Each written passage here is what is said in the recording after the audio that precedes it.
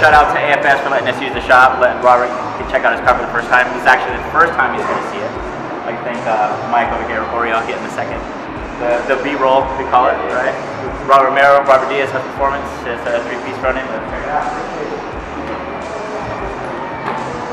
All right, you can stand there. You ready for this? Holy! That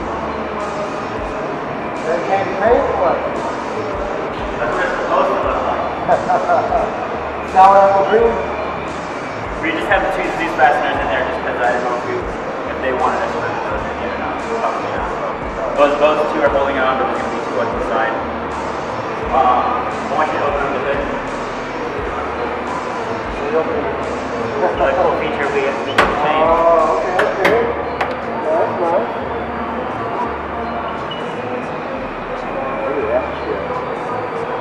We have 130 hours of body work in this thing. Oh, wow. Dang, it looks like glass, man.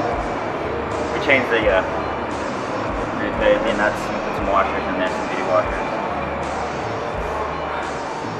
Hush Performance. Our focus was on direct fit, a bolt-on application out of the box, no extra fabrication involved in the fit and look. We wanted an aesthetically pleasing front end, one that complements the chassis for both drag racers, road racers, and potential street cars. Since the unveiling of our DA three-piece front end, we've been actively showing the car to as many people in our industry to gather as many thoughts as possible. We didn't know that it would get this much attention, but of course we hoped it would. A considerable amount of effort and complexity was put into it. This is what 130 hours on a bay does to you. A lot of time was actually spent redoing parts, asking each other how far do we want to go? Is this a race or is it a show car? Can it be both? What will be seen? What won't? How much time do we have? Who will see it?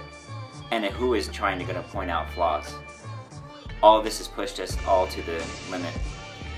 And this is where we stand and not fall. The most successful teams are those that can work together. Hi, Bob Romero, Sin City DA Jeezer, Sin City Dragstar. I just want to thank Hush Performance, Micah at Comset Fabrication, and Ryan for doing such a fucking sick job on all the time we put into this thing to get the body lines right and make sure that it was ready for this paint job. I mean, I couldn't ask for anything better.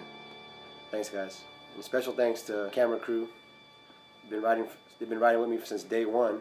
KNOC TV. You know, we all family here. So I appreciate all the love, guys. Thanks.